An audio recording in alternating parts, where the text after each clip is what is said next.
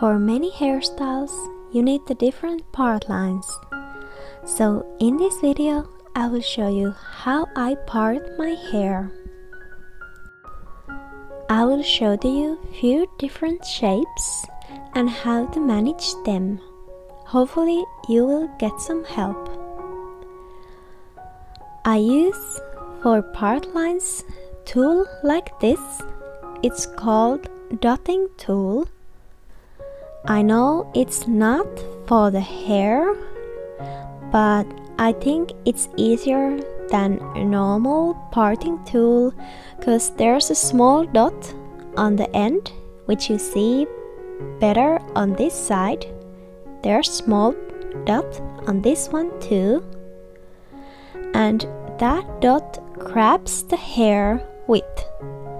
I cannot really notice the difference when I part someone else's hair, but when I'm doing styles to myself, I think this is much more better tool than the normal. First, we're getting closer to the straight part lines. With this, the most important tip is that keep the pressure and speed even. Make sure that the tool will touch your scalp and keep the speed even so it's easier to draw a straight line.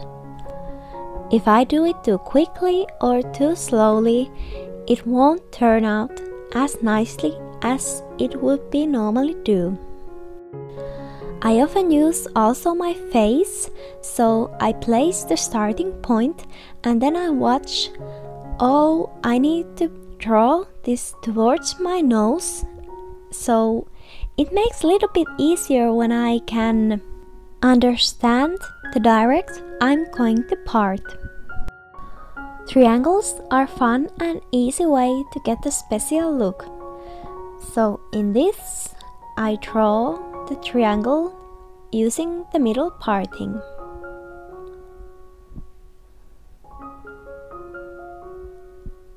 Like this. Remember that you can always fix the part line afterwards if it's not good enough. When I do the curvy partings, I think the most important thing is that you can imagine the path you will draw. So before actually doing it, imagine the path you will draw. You can also use the practice strokes like this. When the movement is familiar to your hand, it will turn out easily. Remember again the even pressure and speed.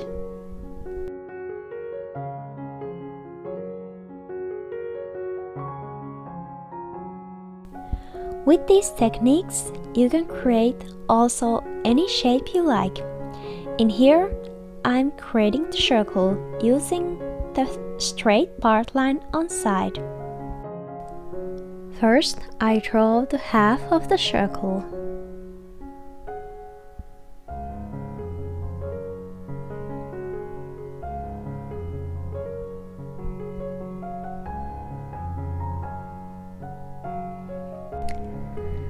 Next, I can fix the half of the circle so it's more the shape I prefer.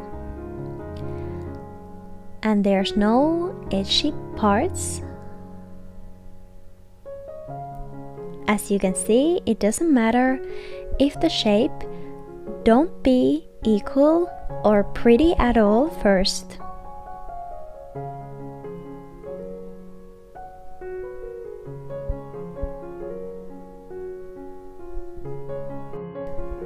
Then I make something about like this to the another side of the straight part line. And then starts the real shaping of the parting. Now you can see what you have and then shape it as you like to get more closer the look you like. Next I will show you how to create symmetrical part lines using the middle parting. First, you need, of course, the middle parting.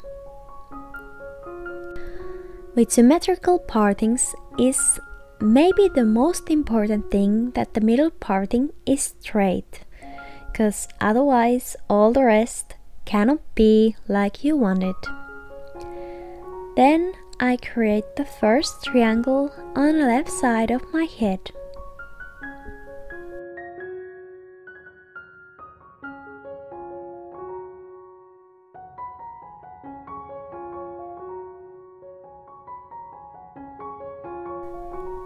Then I do the same to the opposite side. First, I measure the right size. Then I touch the right places on the other side. After that, I just remember the places I touched and when the tip of the tool will on that right spot, I turn. Actually, I don't know does anyone else do it like I do? but I do it in this way and I cannot really teach anything else than what I do and how I'm used to create the partings. So here's my way.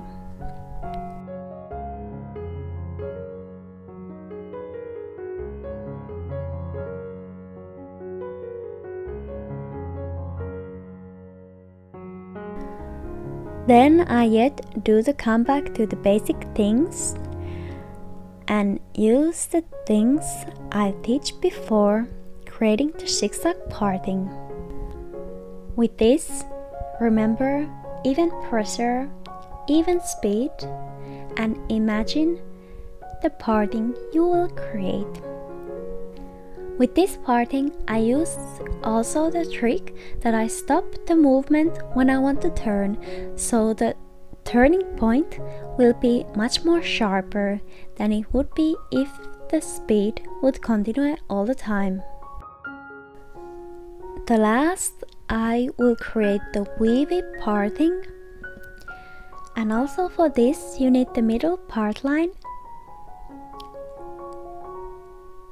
place the starting point and then start the weave.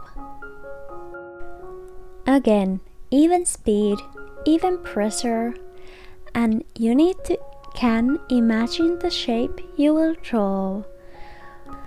I think imagining is not that important if you part someone else's hair, but if you do for yourself, I think it's the key of everything because I cannot see everything I'm doing, so the imagine what I'm doing is like the third eye in this process. Here's again the most important tips. First is the even speed and the even pressure. 2 is imagine the shape you will draw. This makes everything much more easier, especially if you part for yourself. And last but definitely not the least, practice, practice, practice. When your muscles will learn the right shapes and the pressure and the speed and everything, everything comes much more easier. Thank you for watching this video. Hopefully you could find some help from these tips. If you like this video, hit the thumbs up and subscribe my channel. Thank you!